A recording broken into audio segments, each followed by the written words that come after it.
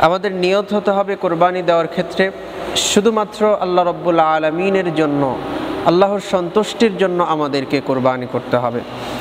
মানুষকে দেখানোর জন্য, লোক দেখানোর জন্য, সুনাম, খ্যাতি অর্জনের জন্য, এছাড়াও গোস্ত খাওয়ার জন্য এগুলা কারণে কোরবানি করলে সেই কোরবানি জায়েজ হবে না, আল্লাহ রব্বুল আলমিনের দরবারে কবুল হবে না।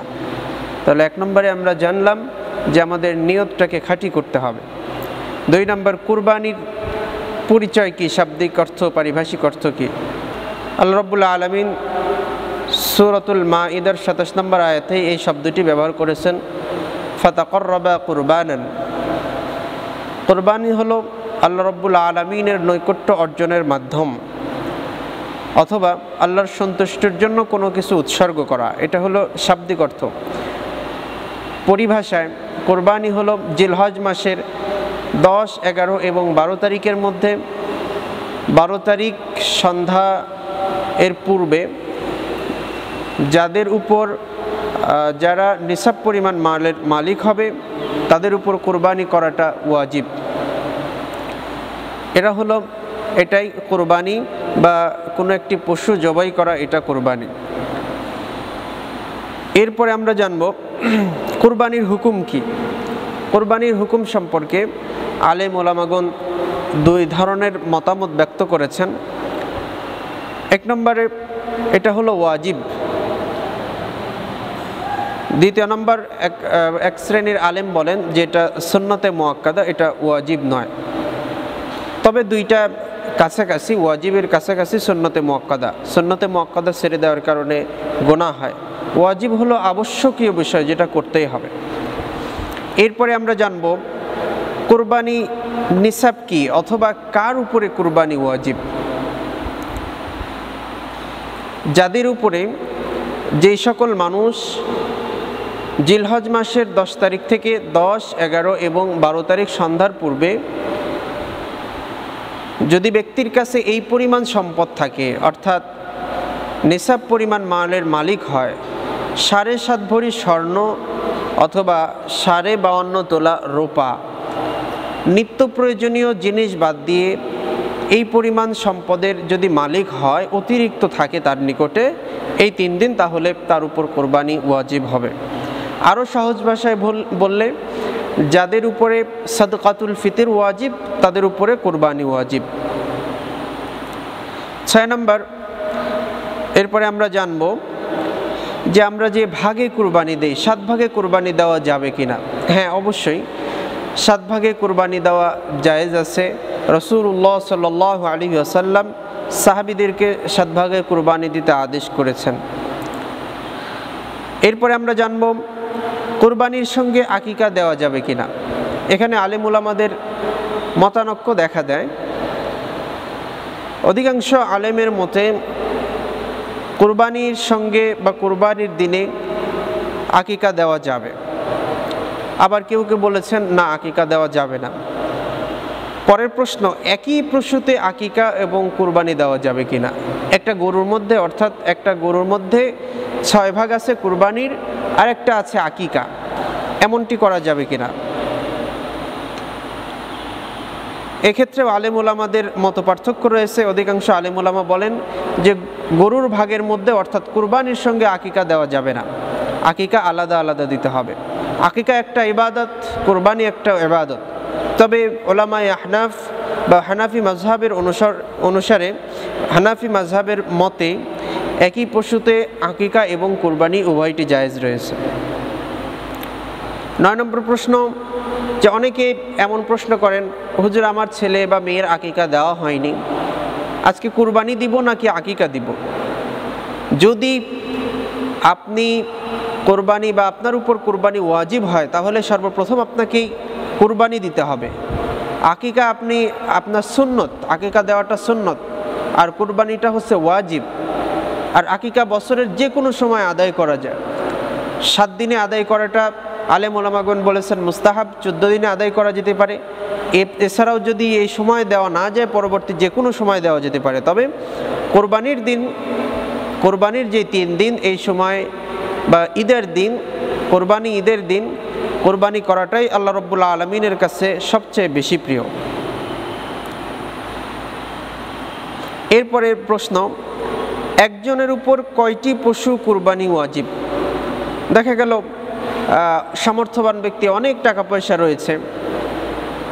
তিনি প্রত্যেক বছরে অনেকগুলো করে কুরবানি দেন, অনেকগুলো গড়ি জবাই করেন। আসলে ওয়াজিব হলো একটা দিলেই সেটা যথেষ্ট হয়ে যায়। কিন্তু যদি মানুষের উপকারের জন্য, দান সাদাকার জন্য এবং গরিব মিসকিনদের নিকটে গোস্ত পৌঁছানোর জন্য অধিক দিয়ে থাকেন, এটা আলহামদুলিল্লাহ উত্তম। তবে যদি লোক দেখানোর জন্য করে থাকেন লৌকিকতার জন্য করে থাকেন, তাহলে এটা জায়েজ নেই। এরপরের প্রশ্ন, কোরবানির সময়সীমা বা কয়দিন কোরবানি দেওয়া যায়? কোরবানির সময়সীমা আলেম ওলামাদের মধ্যে দুই ধরনের মত পাওয়া যায়। ওলামাই আহনাফ, হানাফি মজহাব অনুযায়ী কোরবানির সময় তিন দিন। কোরবানি ঈদের দিন নামাজের পর থেকে নিয়ে শুরু করে ঈদের পরের দিন এবং তার পরের দিন। অর্থাৎ জিলহজ মাসের দশ, এগারো এবং বারো তারিখ সূর্যাস্তর পূর্ব পর্যন্ত এই তিন দিন। অনেক ওলামাদের মতে, অনেক আলেমদের মতে চার দিন পর্যন্ত কোরবানি দেওয়া যায়। অর্থাৎ কোরবানি ঈদের দিন এবং এরপরে আরও তিন দিন কোরবানি দেওয়া যায়। তেরো নম্বর, এরপরের প্রশ্ন, কি কি পশুতে কোন কোন পশুতে কোরবানি দেওয়া যায় বা কোন কোন পশু দ্বারা কোরবানি দেওয়া যায়? গৃহপালিত যে সকল পশু রয়েছে, উট, গরু, মহিষ, ছাগল, ভেড়া এবং দুম্বা, এই মোট ছয়টি শ্রেণির প্রাণী দ্বারা কোরবানি দেওয়া যায়। এছাড়া অন্য কোনো প্রাণী দ্বারা কোরবানি জায়েজ হবে না। অনেকে মনে করতে পারেন, হরিণ একটা জায়েজ পশু, এর গোস্ত খাওয়া হালাল, কিন্তু এর দ্বারা কোরবানি দিলে এটা কোরবানি আদায় হবে না। এরপরে যদি কোনো ব্যক্তি নামাজ, ঈদের নামাজের পূর্বেই কুরবানি করে ফেলে পশু জবাই করে ফেলে, তাহলে কি তার কোরবানি হবে? না, নামাজের পূর্বে যদি কেউ পশু জবাই করে ফেলে, ঈদের নামাজের পূর্বে যদি কেউ পশু জবাই করে ফেলে, তাহলে তার কোরবানি হবে না।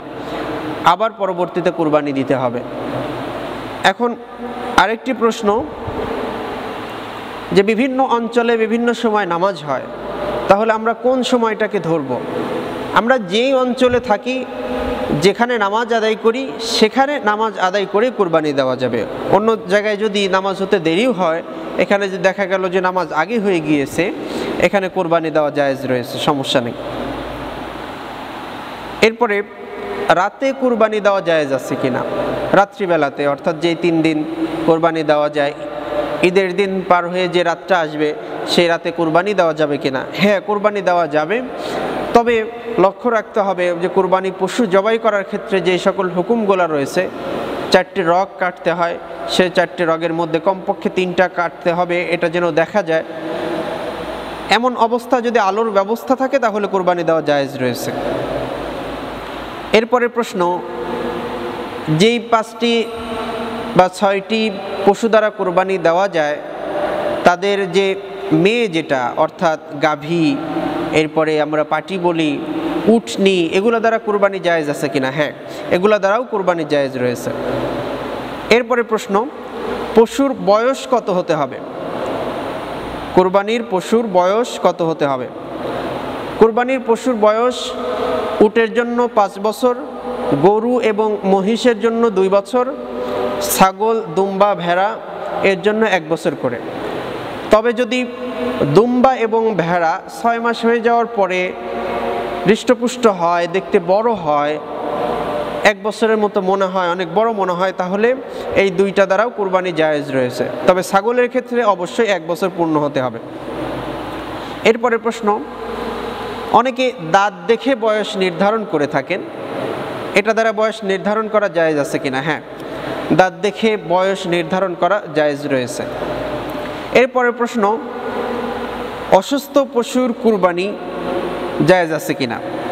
অসুস্থতা যদি অনেক বেশি হয়, অনেক বেশি দুর্বল হয়, যে চলতে পারে না, খেতে পারে না, তাহলে এর দ্বারা কোরবানি জায়েজ নেই। তবে যদি সামান্য অসুখ হয়, সবই ঠিকঠাক করতে পারে, তাহলে এর দ্বারা কোরবানি জায়েজ আছে। অন্ধ, একেবারে অন্ধ ল্যাংরা যে চলতে পারে না, কোরবানির স্থান পর্যন্ত পৌঁছাতে পারে না। এরপরে জন্ম থেকে শিং নেই। জন্ম থেকে একটা শিং বা দুইটা শিং নেই। এই এই সকল পশু দ্বারা কুরবানি জায়েজ নেই।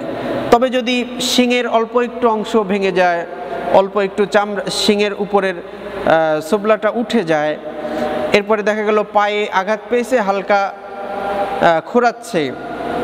অথবা চোখের দৃষ্টিশক্তি সামান্য কম আছে, সে সব কিছুই দেখতে পারে, খাইতে পারে, সঠিকভাবে চলতে পারে, তাহলে এই সকল পশু দ্বারা কোরবানি জায়েজ রয়েছে এই সকল পশু দ্বারা কোরবানি দেওয়া যাবে। এরপরে প্রশ্ন, ভালো পশু কেনা হলো, ক্রয় করার পর দেখা গেল সেখানে ত্রুটি দেখা যাচ্ছে বা অসুস্থ ল্যাংরা বা যেই সকল কারণে কুরবানি বাধাগ্রস্ত হয়, সেই সকল বিষয় পাওয়া যাচ্ছে, তাহলে কি করবে? এক্ষেত্রে করণীয় হলো যদি সামর্থ্যবান হয়, তাহলে ওই পশুটা রেখে আরেকটি পশু ক্রয় করে কুরবানি করবে। আর যদি সামর্থ্যবান না হয়, সেটা দ্বারাই কুরবানি চলবে।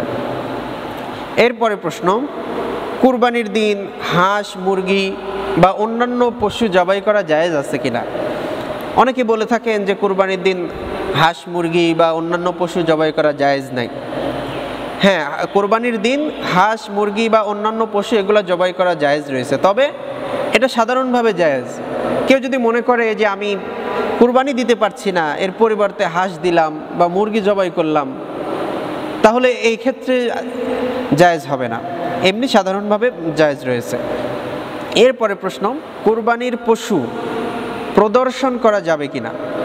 অনেক অঞ্চলে দেখা যায় যে পশু কিনে নিয়ে এসে, কোরবানির পশু কিনে নিয়ে এসে সবাই মিলে আনন্দ ফুর্তি করে এলাকায় ঘুরে দেখায়, বড় অনেক স্বাস্থ্যবান বা দেখায় যে আমি অনেক বড় গরু কিনেছি, অনেক দামি গরু কিনেছি। এগুলো প্রচলন বিভিন্ন অঞ্চলে রয়েছে। এটা সম্পূর্ণ না যায় একটি কাজ। এটা শিরকে আসগরের মধ্যে পড়ে যায়, লৌকিকতা, লোক দেখানো। আল্লাহ রব্বুল্লাহ আলমিন বলেন ওয়ালা দিমা উহা ওয়ালা কি তাকওয়া। যে আল্লাহ রব্বুল আলমিন তোমাদের পশুর গোস্ত, রক্ত কিছুই চান না। তিনার কাছে পৌঁছে না। তিনি শুধু তোমাদের তাকুয়া দেখেন। এই জন্য এই ধরনের কাজ থেকে আমাদের বিরত থাকতে হবে। এরপরে প্রশ্ন, কুরবানি পশুর সঙ্গে সেলফি উঠানো। আমাদের দেশে একটা রোগ বা বিভিন্ন অঞ্চলে একটা রোগ এটা। এমনি তো সেলফিটা বারবার উঠানো একটা রোগ। এবং অপ্রয়োজনীয় ছবি তোলাটাও আলেম ওলামাগন হারাম বলেছেন।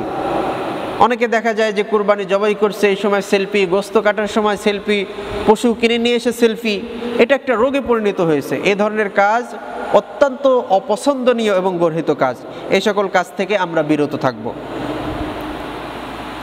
এরপরের প্রশ্ন, কুরবানি একাকি দেওয়া উত্তম নাকি ভাগে দেওয়া উত্তম? অবশ্যই কোরবানি একাকি দেওয়া উত্তম। আপনি যদি সাত ভাগে কোরবানি দিতে যান বা পাঁচ ভাগে কোরবানি দিতে যান দেখা যাবে একজনের টাকা পয়সার মধ্যে হারাম রয়েছে, সুদ রয়েছে, চুরি ডাকাতির টাকা রয়েছে। এই সাতজনের যে কোনো একজনের টাকার মধ্যে যদি এক টাকাও যদি হারাম থাকে, তাহলে সাতজনের কোরবানি বরবাদ হয়ে যাবে। এই জন্য একাকি দেওয়াটাই উত্তম। হ্যাঁ যদি সাতজনকে আপনি ভালো মানুষ পান, নেককার, মুত্তাকি, পরহেজগার মানুষ পান, তাহলে তাদের সঙ্গে কোরবানি দেওয়া যেতে পারে, এতে কোনো সমস্যা নেই। এরপরে প্রশ্ন, একই পরিবারে একাধিক ব্যক্তির সমর্থ হলে করণীয় কি? একই পরিবারে একাধিক ব্যক্তির যদি কোরবানির সামর্থ্যবান হয়, তাহলে করণীয় কি? আমাদের সমাজে অনেক বাড়িতে দেখা যায় অনেক পরিবারে দেখা যায় যে পিতাও সামর্থ্যবান ছেলেও সামর্থ্যবান মেয়েও সামর্থ্যবান বা স্ত্রীও সামর্থ্যবান তাদের সম্পদ রয়েছে, আলাদা আলাদা সম্পদ রয়েছে। এক্ষেত্রে উলামাই আহনাফ অর্থাৎ হানাফি মাজহাবের আলেমদের বা আবু হানিফা রহমতুল্লাহ আলহির মত হলো, যিনি যিনি কোরবানি যার উপর যার উপর কোরবানি ওয়াজিব, সামর্থ্যবান প্রত্যেককেই আলাদা আলাদাভাবে কোরবানি দিতে হবে। তবে অন্যান্য কিছু আলেমুলামাগন বলেছেন যে একটি পরিবারের মধ্যে থেকে একটি কোরবানি দিলেই যথেষ্ট। এরপরে প্রশ্ন, গরু কি সাত ভাগেই দিতে হবে, নাকি দুই ভাগ, তিন ভাগ, চার ভাগ, পাঁচ ভাগে জায়েজ রয়েছে? হ্যাঁ গরু দুই ভাগ থেকে নিয়ে শুরু করে সাত ভাগ পর্যন্ত, সর্বোচ্চ সাত ভাগ, এর নিচে আপনি যে কয় ভাগ দিতে পারেন, জায়েজ আছে, কোনো সমস্যা নেই। এরপরের প্রশ্ন, কুরবানির পশুর দ্বারা পারিশ্রমিক দেওয়া যাবে কি? একটা গুরুত্বপূর্ণ প্রশ্ন, অনেকে দেখা যায় কুরবানি পশু জবাই করার জন্য, পরিষ্কার করার জন্য, গোস্ত কাটার জন্য কষাই রাখেন। এক্ষেত্রে পশুর চামড়া বা কোনো একটা অংশ দ্বারা গোস্ত হোক, যে কোনো অংশ, চর্বি হোক, কোনো অংশ দ্বারাই ওই ব্যক্তিকে পারিশ্রমিক দেওয়া যাবে না। আগের থেকে ঠিক করে নিতে হবে যে, আমি তোমাকে কোনো গোস্ত দিব না, তুমি কত টাকা চাও তুমি এটা বলে নাও। আগের থেকে এটা ঠিক করে নিতে হবে। পরবর্তী যদি আপনি চান, এই টাকাটা দেওয়ার পরে আলাদাভাবে তাকে দিতে পারেন, এতে কোনো সমস্যা নেই। রাসুল এর পরবর্তী প্রশ্ন, রাসুল সাল্লাহ আলি সাল্লামের নামে কুরবানি করা যাবে কিনা? অনেকেই নিজের নামে কুরবানি করার পরে ভালোবেসে রসুল সাল্লাহ আলি সাল্লামের নামে কুরবানি করেন, এটা জায়েজ আছে কিনা? হ্যাঁ এটা জায়েজ আছে। যদি সামর্থ্যবান হয়, রসুল সাল্লাহ আলি সাল্লাম, তিনি দুইটা করে কুরবানি করতেন। নিজের নামে একটা করতেন এবং তেনার উম্মতের নামে একটা করতেন। সমস্ত উম্মতের পক্ষ থেকে তিনি একটা কোরবানি দিতেন। এবং তিনি হজরত আলী রাজি আল্লাহ তালা আনহুকে ওসিয়ত করে গিয়েছেন। হে আলী, তুমি আমার নামে একটি করে কুরবানি দিবে। এই জন্য রাসুল সাল্লাহ সাল্লামের নামে যদি কেউ কুরবানি দেন, তাহলে সেটা জায়েজ রয়েছে। এরপরে প্রশ্ন, ঋণ করে কুরবানির হুকুম কি? একজনের দেখা গেছে যে সে সামর্থ্যবান, কিন্তু নগদ টাকা তার কাছে নেই। এমত অবস্থায় সে যদি চায় ঋণ করে কুরবানি দিতে, তাহলে অবশ্যই সে ঋণ করে কুরবানি দিতে পারবে। ঋণ করে নেক কাজ করা জায়েজ রয়েছে। এরপরে প্রশ্ন, ঋণগ্রস্ত ব্যক্তির কুরবানি। যে একজন মানুষ, তার অনেক ঋণ রয়েছে। এখানে দুইটা অবস্থা। একটা হলো দুইটা প্রশ্ন। একটা, সে ঋণ আগে পুরা করবে নাকি কুরবানি দিবে? আরেকটি প্রশ্ন হলো, ঋণ আর যদি তার সম্পদ সমান সমান হয়, দেখা গেল যে ঋণ পরিশোধ করতে গিয়ে তার সম্পদ কমে যাচ্ছে, তাহলে তার উপর কুরবানি ওয়াজিব হবে না। আর যদি সেই ব্যক্তি ঋণ থাকে যে তার টাকা পয়সা রয়েছে, নগদ টাকা রয়েছে, সে ঋণ আদায় করবে নাকি কুরবানি দিবে? সে অবশ্য, অবশ্যই ঋণ আদায় করবে। এরপরে যদি ঋণ আদায় করার পরে যদি সে সামর্থ্যবান হয়, তাহলে সে কুরবানি দিবে। এরপরে, পশু জবাইয়ের সন্ন্যত তরিকা কি? আমরা যে পশু জবাই করে থাকি, অনেক সময় জানি না কীভাবে শোয়াতে হবে, কোন দিক শোয়াতে হবে, এটা আমরা জানি না। এর পশু জবাইয়ের সন্ন্যত তরিকা হলো, মাথাটা থাকবে দক্ষিণ দিকে, আর পাগুলোকে পশ্চিম দিকে রাখতে হবে। আর যদি পাগুলো পশ্চিম দিকে রাখা না হয়, তাহলে সেটা জবাই হয়ে যাবে, এতে কোনো সমস্যা নেই। তবে সুন্নাত তরিকা হলো মাথাটাকে দক্ষিণ দিকে দিয়ে পাগুলোকে পশ্চিম দিকে হেলে দেওয়া। এরপরে জবাইয়ের সময় যারা কুরবানির ভাগিদার রয়েছে, অংশীদার যারা রয়েছে, তাদের নাম উচ্চারণ করার হুকুম কি? নাম উচ্চারণ করা কি আবশ্যক?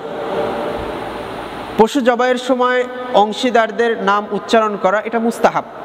এটা আবশ্যক নয়। যদি নাম উচ্চারণ করা নাও হয়, তাহলে তার পক্ষ থেকে কুরবানি আদায় হয়ে যাবে। নিয়ত করার সঙ্গে সঙ্গে তার রব্বুল্লা আলমিন তার কুরবানিটাকে কবুল করে নেন। এই জন্য নাম উচ্চারণ করাটা আবশ্যক নয়, এটা একটা মুস্তাহাব। এরপরে প্রশ্ন, পশু জবাই করার সময় যদি আল্লাহর নাম নেওয়া না হয় বিসমিল্লা বলা না হয়, তাহলে হুকুম কি? যদি যিনি জবাই করছেন এক্ষেত্রে নিজে নিজের কুরবানি জবাই করাটা উত্তম। নিজের কুরবানির পশুকে নিজে জবাই করা উত্তম। এখন যদি দেখা যায় যে এলাকার হুজুর রয়েছেন, তিনারা তো সাধারণত ভুল করেন না। নিজে জবাই করতে গিয়ে যদি আপনি বিসমিল্লা বলতে ভুলে যান, তাহলে এই পশু জবাই হয়ে যাবে, এতে কোনো সমস্যা নাই। যদি কেউ ইচ্ছাকৃত বিসমিল্লা ছেড়ে দেয়, না বলে, আল্লাহর নাম ছাড়া জবাই করে ইচ্ছাকৃত, তাহলে ওই প্রাণী থেকে গোস্ত খাওয়া জায়েজ হবে না, কুরবানিটাও জায়েজ হবে না। এরপরে প্রশ্ন, কুরবানিকারী ব্যক্তির চুল, দাড়ি, নখ মুস এগুলা কাটার হুকুম কি? এগুলা কি কাটা নিষেধ? হ্যাঁ এটা রসুল সাল্লাহ আলি সাল্লাম বলেছেন যারা কুরবানি করবে, এরা জিলহজ মাসের যখন চাঁদ উঠে যাবে, তখন থেকে নিয়ে কোরবানি করা পর্যন্ত চুল, দাড়ি, নখ মুস এগুলা কাটা হতে বিরত থাকবে। এমনিতেও দাড়ি কাটা তো হারাম, সর্বদা দাড়ি কাটা থেকে বিরত থাকতে হবে। এরপরের প্রশ্ন, কুরবানির পশু দিয়ে ঈদের দিন প্রথম খাবার খাওয়া কি উচিত, উত্তম? হ্যাঁ। কোরবানির দিন যে ব্যক্তি কোরবানি করেছেন, ওই ব্যক্তি সকাল থেকে না খেয়ে থাকবেন, অর্থাৎ রোজা থাকবেন। যখন কোরবানির পশু জবাই করা হবে, এর গোস্ত যখন রান্না হবে, এটা দিয়ে সে প্রথম আহার করবে, এটাই উত্তম। এরপরে অনেক ক্ষেত্রে দেখা যায় যে জবাই করার পরে পশুর যান বের হওয়ার আগেই অনেকে রক কেটে দেয় দ্রুত যান বের করার জন্য, দ্রুত মৃত মরার জন্য, মৃত্যু ঘটানোর জন্য এগুলা কাজ করা থেকে বিরত থাকতে হবে। এগুলা সম্পূর্ণ নিষেধ কাজ, হারাম। রসুল সাল্লাহ সাল্লাম নিষেধ করেছেন, আর আল্লাহ সুবাহানহু তাআলা তিনি কাউকে কষ্ট দেন না, পশুকে জবাই করতে হবে, উত্তম পন্থায় জবাই করতে হবে এবং তাকে সময় দিতে হবে। এরপরে প্রশ্ন, অন্য স্থানে কুরবানি দেওয়া, আপনি আছেন ঢাকাতে কুরবানি বাড়িতে দিলেন। আপনি বাড়িতে রয়েছেন বা অন্য জায়গায় কুরবানি দিলেন, এটাও কোরবানি করা যাবে, কোনো সমস্যা নেই, কোরবানি করা জায়েজ রয়েছে। এরপরে প্রশ্ন, কোরবানি যে তিনটা দিন, এই তিন দিনে যদি কুরবানি, যার উপর ওয়াজিব, সে যদি কোরবানি করতে না পারে, তাহলে হুকুম কি? যদি পশু ক্রয় করা থাকে, তাহলে তার হুকুম হলো, সে পশুটাকে সৎকা করে দিবে। আর যদি পশু ক্রয় করা না হয়ে থাকে, তাহলে পরবর্তী সময়ে পশু একটা ক্রয় করে, কোরবানির জন্য এক, নিয়তে একটি ক্রয় করে, সেটাকে সৎকা করে দিতে হবে। এরপরে প্রশ্ন, পশুর চামড়ার হুকুম কি? পশু জবাই, কোরবানির পশু জবাই করার পর যে চামড়াটি হয়, আপনি যদি পারেন, এটাকে ব্যবহার করতে পারেন। যে কোনো পন্থায় যদি পারেন, আপনি ব্যবহার করা, এটা আপনার জন্য জায়েজ রয়েছে। এটা এই চামড়াকে বিক্রি করা যাবে না।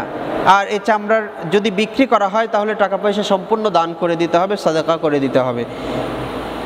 এই পশুর চামড়া পুরো বিক্রি না করে চামড়াটাকে দান করে দেওয়াটাই বেশি উত্তম। গরিব মিসকিনকে দিতে পারেন। এই পশুর চামড়া বা পশুর চামড়ার টাকা পয়সা কোনো প্রতিষ্ঠান, মসজিদ, মাদ্রাসার বিল্ডিং বা জনকল্যাণমূলক কাজে এটা ব্যবহার করা যাবে না। মাদ্রাসার ছাত্র যদি গরিব হয়, তাকে দেওয়া যেতে পারে, সমস্যা নেই। এরপরে প্রশ্ন, কুরবানির গোস্তের হুকুম কি? আমাদের সমাজে দেখা যায় যে কুরবানির গোস্তকে তিনটা ভাগ করা হয়। হ্যাঁ এটা একটা মুস্তাহাব কাজ। নিজের জন্য একটা ভাগ, এরপরে প্রতিবেশী বা আত্মীয় স্বজনদের জন্য, এরপরে হচ্ছে গরিব মিসকিনদের জন্য। তিনটা ভাগ করা মুস্তাহাব। এটা আবশ্যকীয় কোনো বিষয় নয়। মুসলিম শরীফের হাদিসের মধ্যে রসুল সাল্লাহ আলাইসাল্লাম বলেছেন, তোমরা খাও, জমা রাখো এবং দান করো। এটা জায়েজ রয়েছে। এটা আবশ্যকীয় কোনো বিষয় নয়। তা আপনি চাইলে সম্পূর্ণ গোস্তই খেতে পারেন, আপনি চাইলে সম্পূর্ণ গোস্তই দান করে দিতে পারেন, এতে কোনো সমস্যা নেই। এরপরে সমাজের ভাগের হুকুম কি? আমাদের দেশে বা বিভিন্ন অঞ্চলে দেখা যায়, বিভিন্ন সমাজ রয়েছে কোরবানির গোস্ত সকলে মিলে একত্রিত করেন, এরপরে বিভিন্ন জায়গায় পৌঁছে দেন। এখানে কয়েক ধরনের অকল্যাণ বা গর্হিত কিছু কাজ চোখে আসে, নিন্দনীয় কিছু কাজ চোখে পড়ে।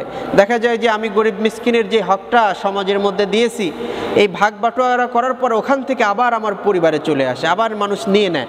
সেটা নেওয়ার জন্য অনেকে আগ্রহ করে অধীর অপেক্ষায় অপেক্ষা করতে থাকে, এর জন্য গ্যাঞ্জাম হয়, মারামারি হয়। সুতরাং যদি এই ধরনের সিচুয়েশন হয়, তাহলে এই ধরনের কাজ থেকে বিরত থাকা উত্তম।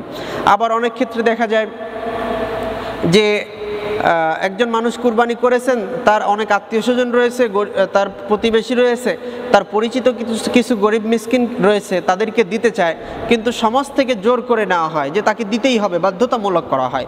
যদি এ ধরনের কাজ করা হয়, তাহলে এই সমাজে গোস্ত দেওয়া জায়েজ হবে না। হ্যাঁ যদি কেউ স্বেচ্ছায় দেয় এবং সমাজের এই নিয়ম থাকে যে গোস্তটা আবার ফিরে আপনার বাসায় আসবে না, গরিব মিসকিনদের বাসায় যাবে, তাহলে সেটা জায়েজ রয়েছে, এতে কোনো সমস্যা নেই। এরপরের প্রশ্ন, অমুসলিমকে কোরবানির গোস্ত দেওয়া যাবে কিনা বা খেতে দেওয়া যাবে কিনা? হ্যাঁ অমুসলিমদেরকে কোরবানির গোস্ত খেতে দেওয়া যায়, খেতে দেওয়া যাবে, এতে কোনো সমস্যা নেই। এরপরে গোস্ত অনেকে জমা করে রাখে জমা করে রাখার হুকুম কি? হ্যাঁ মুসলিম শরীফের হাদিসের মধ্যে বলা হয়েছে, তোমরা খাও, জমা করো এবং দান করো। সুতরাং জমা করে রাখা জায়েজ রয়েছে। অনেকে বলে থাকেন, তিন দিনের বেশি জমা করা জায়েজ নাই। না, তিন দিনের ক্ষেত্রে শরীয়তের কোনো বাধা নেই।